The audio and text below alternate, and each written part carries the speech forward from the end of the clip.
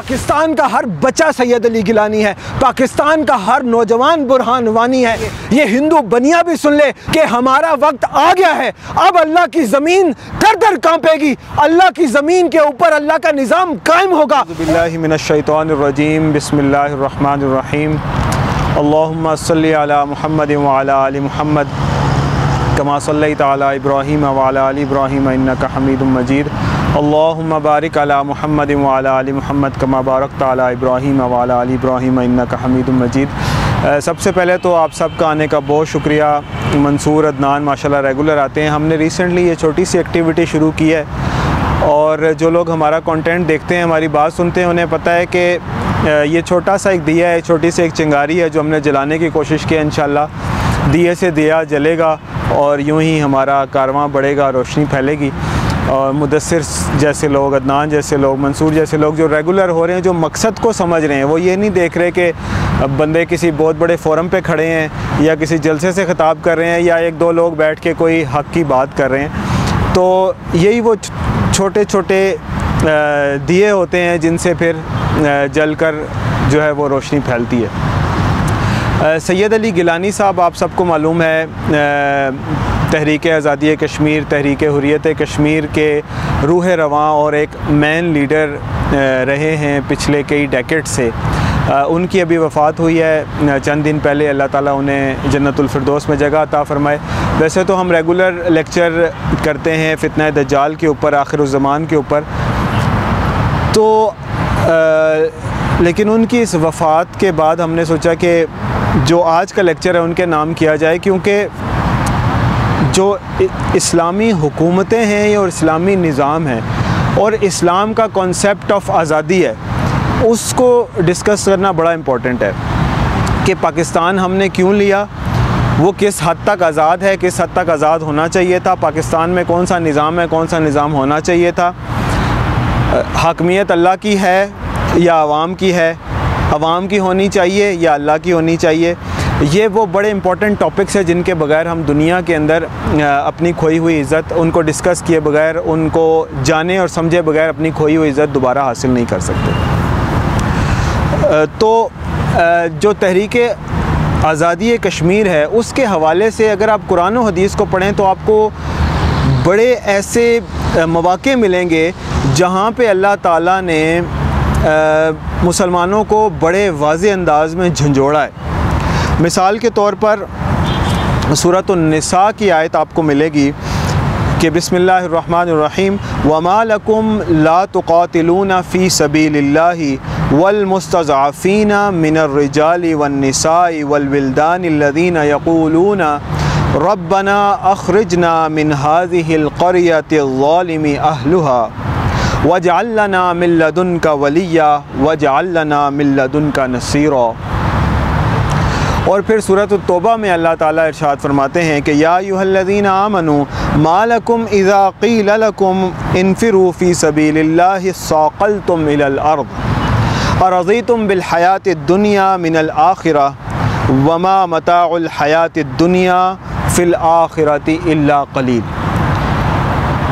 अल्लाह ताला सहाबा से उस दौर में इरशाद फरमा रहा था कि जब सहाबा हिजरत फरमा चुके थे कि ए अल्लाह के बंदो, ए मुसलमानों, ए नबी सल्लल्लाहु अलैहि वसल्लम के असहाब, उनके साथियों वमालकुम ला तुकातिलून फ़ी सबीलिल्लाह, कि तुम्हें क्या हो गया है?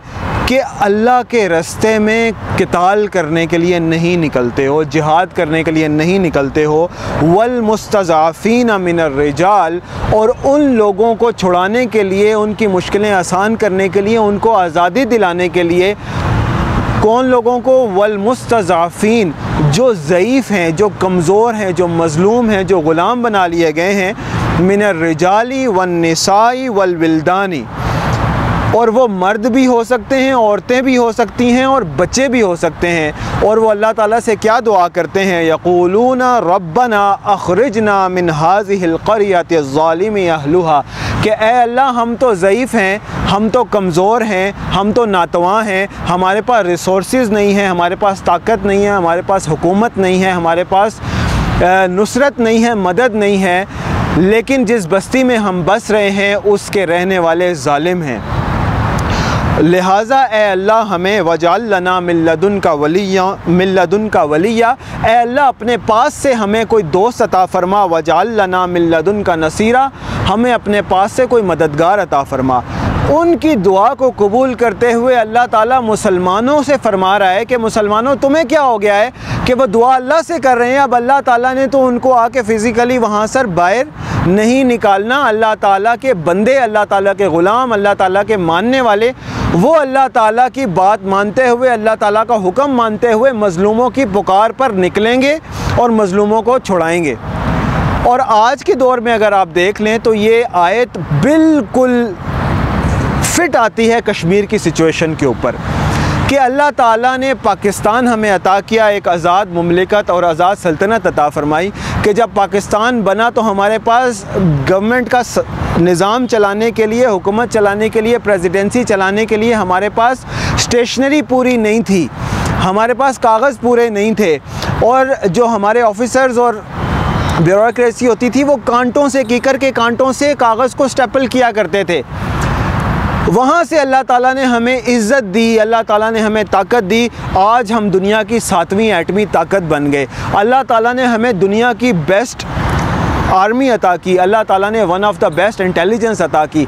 अल्लाह ताला ने हमें ऐसी इकोनॉमी अता की कि जिस जगह पे आप बैठे हुए हैं it is the one of the most beautiful capitals of the world अल्लाह ताला ने हमें इतनी खूबसूरत जगहों के ऊपर मुल्क अता किए इतनी खूबसूरत जगहों के अंदर हमें रिहाइशें अता की। अल्लाह ताला ने हमें चार मौसम अता किए।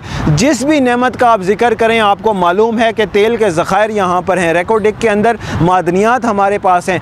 अल्लाह ताला की दी हुई हर नेमत हमारे पास है। टॉप टेक्नोलॉजिस्ट हमारे पास हैं। टॉप के इंटेलेक्चुअल्स हमारे पास हैं। लेकिन उसके बावजूद, वमा लकुम ला तुकातिलून फ़ी सबीलिल्लाह की बेहतर की मिसाल बने हुए हम कि अल्लाह के रस्ते में उन मज़लूमों के लिए, हम जहाद के लिए अभी भी नहीं निकल सके हैं। सत्तर बहत्तर साल से वो लोग जुल्म सितम की चक्की में पिस रहे हैं। लेकिन ऐसा भी नहीं है कि मुकम्मल मायूसी की सूरत हाल है। अल्लाह ताला की तौफीक से पाकिस्तान ने उनको जो स्ट्रेटजिक और इंटेलेक्चुअल और सियासी पॉलिटिकल सपोर्ट प्रोवाइड की है, वो इतनी कम भी नहीं रही है। जितनी होनी चाहिए थी उतनी तो नहीं है, लेकिन अल्लाह ताला की तोफ़ी से पाकिस्तान जिस हद तक अल्लाह ताला ने तौफीक दी, उस मामले को बार बार उठाता रहा यूएनओ में उठाता रहा। हमारे अखबार में, हमारे न्यूज़पेपर में, हमारे आवाम के अंदर इस कॉज़ को ज़िंदा रखने में हमारी हुकूमतों का बहरहाल किरदार है।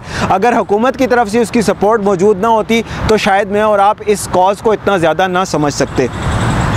असल में ये वाक़ स्टार्ट ऐसे हुआ था कि जब पाकिस्तान बना था, यहाँ से अंग्रेज़ जा रहा था तो वहाँ पे वो यहाँ पे एक ऐसा निज़ाम छोड़ कर गया एक ऐसी एक ऐसा सिस्टम छोड़ कर गया कि ये लोग आपस में लड़ते रहें, ये खड़े ना हो सके, दुनिया में पावर्स ना बन सकें। लेकिन वह यम करूँ यम करूँ ना व यम करुल्ला उन्होंने क्या किया कि दो मुल्क बना दिए कि ये आपस में लड़ते रहें और एक दूसरे को वीक करते रहें। और दरमियान में कश्मीर का मसला छोड़ दिया, वो जो जनरल था जनरल मैसेवरी मैसरवी वो जनरल ब्रिटिश जो आर्मी थी, उसका जनरल था, जो बाद में पाकिस्तान का चीफ कमांडर इन चीफ बना, उसने कायद अज़म की मोहम्मद अली जना के के हुक्म मानने से इनकार कर दिया था कि जब कश्मीर का मसला छड़ा और जो महाराजा था, उसने हिंदुस्तान के साथ इलाहाक का इजहार कर दिया ऐलान कर दिया तो फिर मोहम्मद अली जना रहमत बाबाई कौम ने आर्मी को हुक्म दिया था कि आप हिंदुस्तान के ऊपर हमला कर दें, लेकिन उस ब्रिटिश जनरल ने वो बात मानने से इनकार कर दी थी। क्यों? इसलिए कि वो ब्रिटिश एम्पायर के कहने पर ही चल रहा था। उनका एम्प्लॉय था फ़ौर बाद 15 अगस्त 14 अगस्त को पाकिस्तान बना 15 16 17 अगस्त, और उसके फ़ौर बाद ये वाला मामला स्टार्ट हो गए। तो वो उसने अपनी जो वफ़ादारी है अपनी ब्रिटिश एम्पायर के साथ ही दिखाई। लेकिन अल्लाह ताला की रहमत से उनके वहम गुमान में भी नहीं था। वयम करून वयम करोल्ला वो अपनी चाल चलते हैं, लेकिन अल्लाह ताला अपनी तदबीर करने वाला है। अल्लाह ताला ने हमारे ट्राइबल्स को, हमारे इन खरकापोशों को, पगड़ियाँ पहनने वालों को, हमारे इन पश्तून भाइयों को तोफ़ी दी। और मोहम्मद अली जना रहमत की क़्यादत में, पाकिस्तान की क़्यादत की लीडरशिप की क़्यादत में इन्होंने हिंदुस्तान के ऊपर हमला किया और ये जो आज आज़ाद कश्मीर हमारे पास है, ये सारा का सारा आज़ाद कश्मीर हिंदू बनिए से आज़ाद करवाया। अल्लाह ताला ने उसके बाद भी हमें तोफ़ी दी कि हमने जो वहाँ की जहादी मूवमेंट है, उसको बार बार सपोर्ट किया, जिस तरह की भी intellectual intelligence political support Pakistan दे सकता था, पाकिस्तान ने दी। इसी तरह जो सैयद अली गिलानी रहमत हैं, अल्लाह ताला उन्हें करवट करवट जन्नत नसीब फरमाए और अल्लाह ताला कश्मीर के हर सपूत को उनकी कौज से जोड़े। उनको पाकिस्तान ने हमेशा सपोर्ट दी। पाकिस्तान के अंदर कॉन्फ्रेंसिस में, पाकिस्तान की मुख्तलिफ़ फ़ोरम्स पे उनके टेलीफोनिक खिताबात कराए गए और उन्होंने मर्द हक होने का हमेशा से हक अदा किया।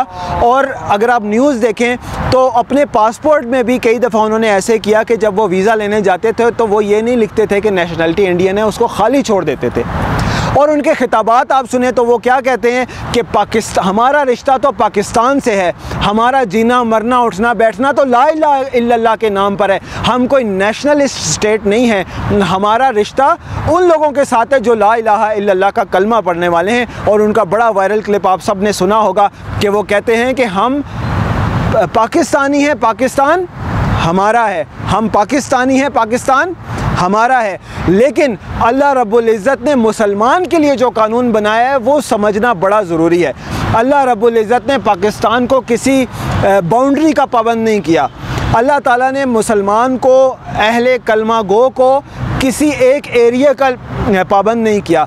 अल्लाह ताला ने मुसलमान के लिए ये सारी ज़मीन बनाई है। जैसे इकबाल कह गए हैं कि चीनो, अरब हमारा, हिंदुस्तान हमारा, मुस्लिम हैं हम वतन है सारा जहाँ हमारा। ये मुसलमान की डेस्टिनी है। और अब इन उस डेस्टनी का वक्त बड़ा करीब आ गया है। हम फितना दज्जाल को डिस्कस करते हैं, आखिर ज़मान को डिस्कस करते हैं। फितना दजाल से और आखिर ज़मान के हदीस से हमें ये बड़ा ही वाज तौर पर पता चलता है कि अल्लाह रब्ज़त ने इस दुनिया की जो बसात रखी है, जो वक्त रखा है, उसके लपेटने का वक्त आ चुका है। आप अलैहि वसल्लम की एक हदीस से हमें पता चलता है कि आप सल्लल्लाहु अलैहि वसल्लम ने फरमाया कि मैं अपने अल्लाह से उम्मीद करता हूँ कि वो मेरी उम्मत को आधे दिन का वक्त ज़रूर देगा। तो साहबा ने पूछा, या रसूल अल्लाह आधे दिन से क्या मुराद है? आप सल्लल्लाहु अलैहि वसल्लम ने फरमाया 500 साल। अल्लामा सुयूती रहमत कहते हैं कि ये 500 साल, एक हज़ार साल के बाद 500 साल इससे मुराद है। उन्होंने इस हदीस की शरह में लिखा है। अलामा सयूती एक बहुत बड़े आलिम गुज़रे हैं और हदीस की शरह हम, उनकी काबिल एतबार है, हमारे लिए मोतबर है।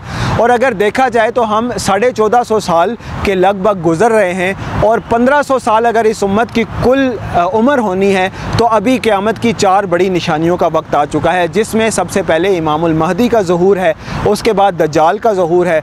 उसके बाद दज्जाल को कत्ल करने के लिए हज़रत ईसा का आसमान से दोबारा आना है और उसके बाद याजूज माजूज का जहूर है और उसके बाद फिर और निशानियाँ हैं, जैसे दाबतुल्ज़ का निकलना, सूरज का मगरब से निकलना, लेकिन वो निशानियाँ हैं जो आप कह सकते हैं कि क़्यामत के अंदर दखूल की निशानियाँ हैं कि उसके बाद तोबा का कोई दरवाज़ा बाकी नहीं रहेगा, उसके बाद किसी की तोबा और किसी का चेंज होना कबूल नहीं रहेगा।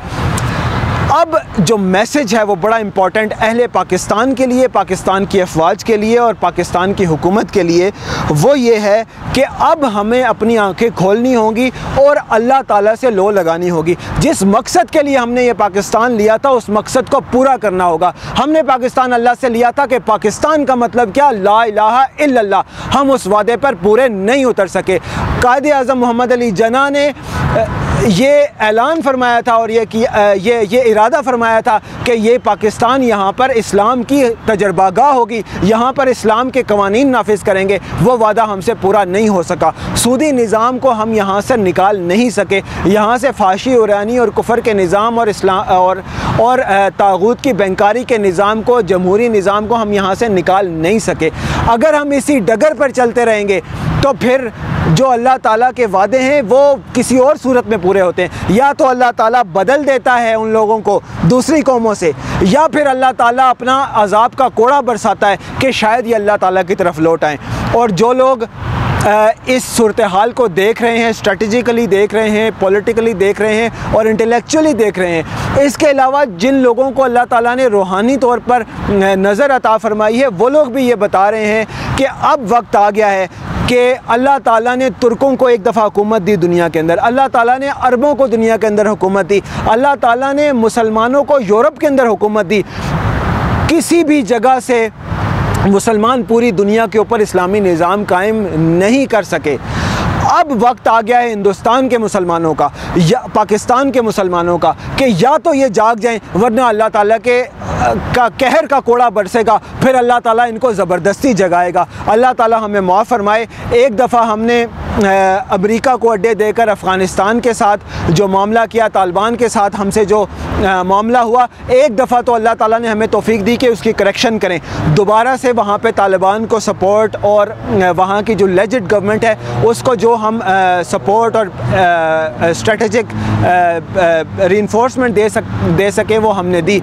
लेकिन अब की बार अगर पाकिस्तान की जो फोर्सेस हैं और पाकिस्तान की हुकूमत है इस तरह की गलती की तो फिर अब की बार शायद हमारे लिए कोई बचने का ठिकाना ना हो।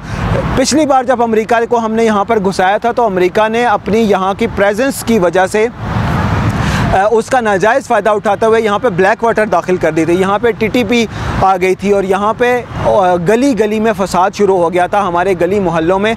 इस तरह बैठना भी मुमकिन नहीं था पीसफुल मूवमेंट्स हमें देखने को मिलते नहीं थे। एक तरफ़ से निकले, निकलते थे तो बम धमाका शुरू हो जाता था, दूसरी तरफ़ से देखते थे तो ख़ुदकुश हमला हो जाता था।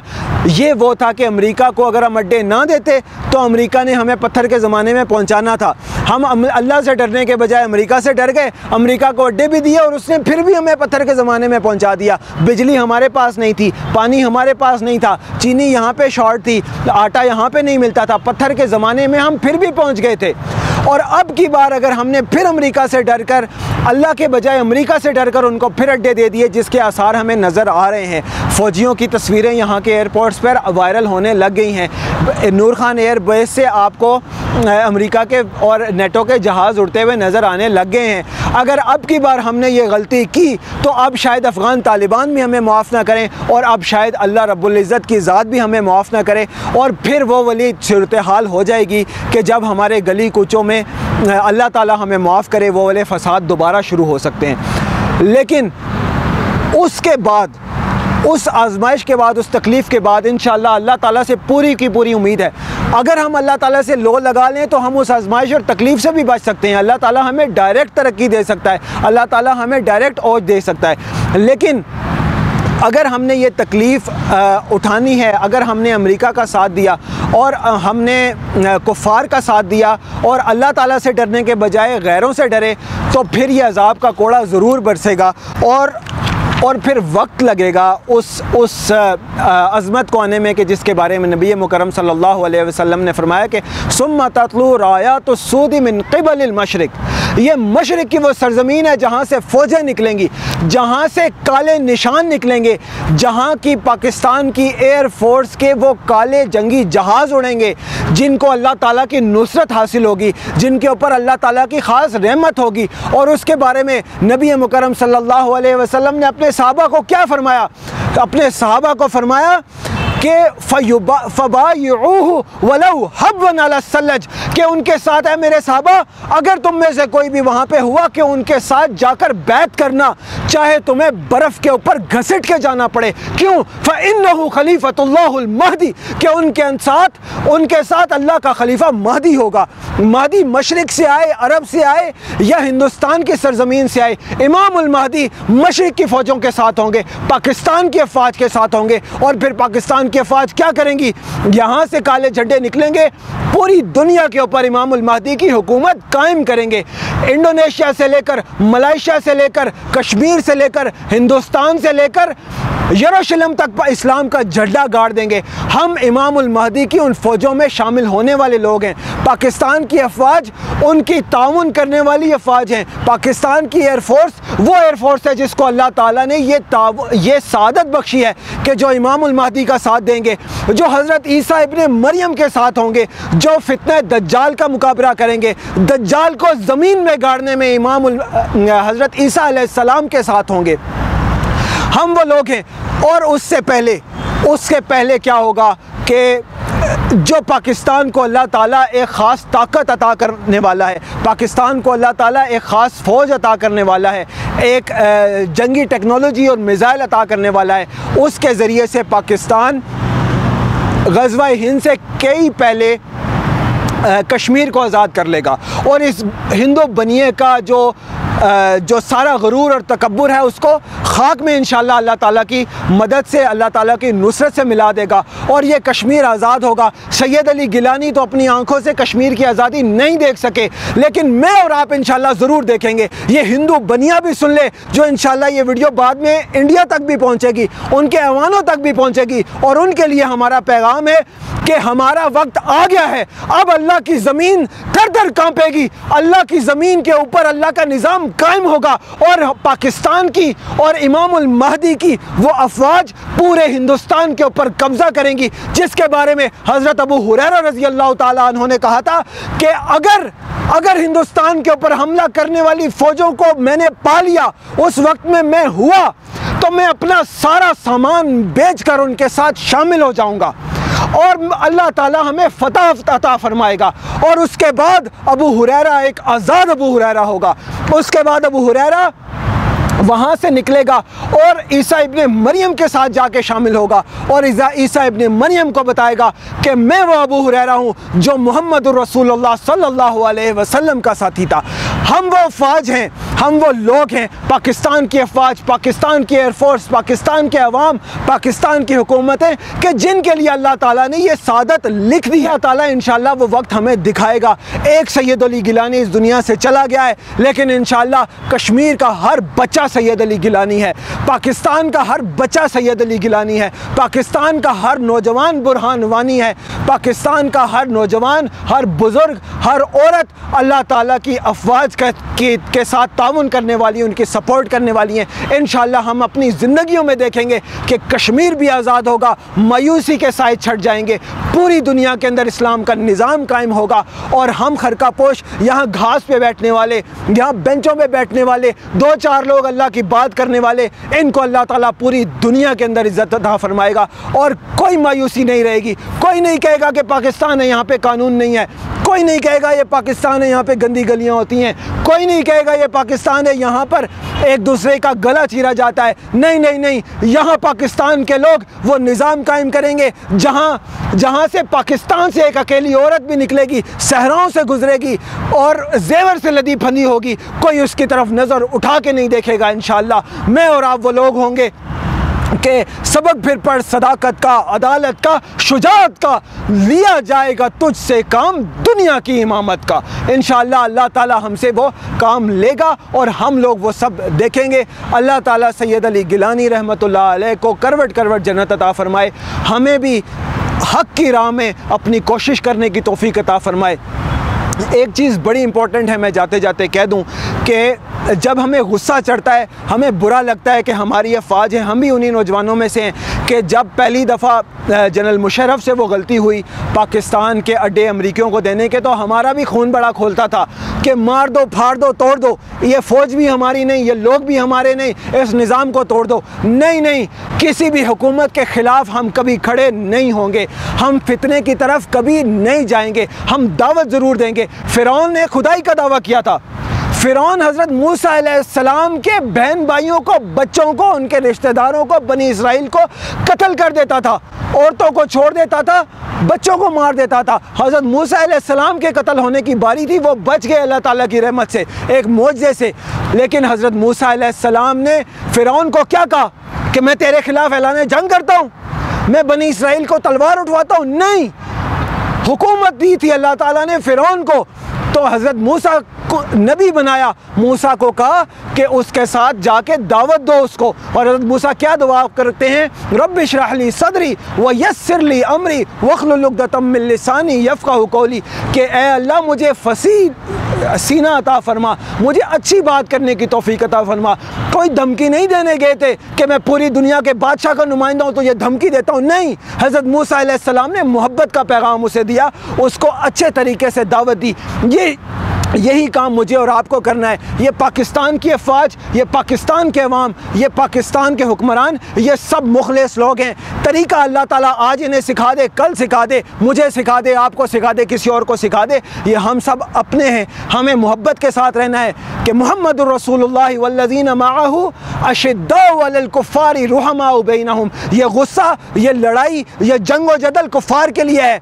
अल्लाह के रसूल और उसके साथियों का शेवा अल्लाह ताला ने ख़ुद मोहब्बत मोहब्बत से, बड़ी तारीफ़ से, बड़ी चाह से कुरान में बताया कि मोहम्मद रसोल्लाजी माहू, कि अल्लाह के रसूल मोहम्मद रसूल और उनके साथी अशद्दा वलल कुफ़ार के लिए एक एक सख्त तरीन चीज़ है। उनका सीना चाक करने वाले हैं, उनको, उनके दीवाने गिराने वाले हैं, उनके सफ़े पाश पाश करने वाले हैं। लेकिन रूहमा हम आपस में मोहब्बत हैं, आपस में शीरी शकर हैं। कभी कोई बात हो जाए, कभी कोई लड़ाई हो जाए, कभी कोई बहस हो जाए, कभी तलवार नहीं उठाएँगे। इकबाल ने क्या खूबसूरती से इस आयत को एक शेर में समोया है कि हो हल्का यारां तो बरे शम की तरह, के हो हल्का रज़म हक को बातिल हो तो फौलाद है मोमिन। हो हल्का यारा तो बरे पहले हो हल्का यारा तो बरेशम की तरह नरम। रज़म हक को बातिल हो तो फौलाद है मोमिन। अल्लाह ताला हमें खैर की तोफ़ी अता फ़रमाए। आरिनल हक़ हक़म वर्ज़ुक नतबा वारिनल बातिल बातिल वर्ज़ुक नश्तनाबा वाखिर दवाना अलहमदिल्ला रबालमीन